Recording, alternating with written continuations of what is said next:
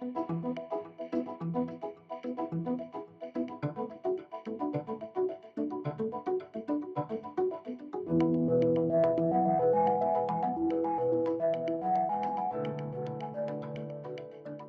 So in theory, I think mobility as a service is is an amazing project and something that, that we should all embrace. Um, it brings huge advantages to cities. Obviously, citizens can get around much more easily. Instead of having 15,000 apps on your phone, you, you just need one. Um, but of course, there are huge challenges that come with it. So you know, it will enable. It means that all all other kind of transport services will have to share data. Um, who owns that data? Is it a private company that will be uh, controlling the, the, the app? Uh, will it be the government? If it's the government, will they put enough resource behind to get the best engineers to make sure it works the best? So uh, huge challenges, but obviously you know, absolutely huge advantages.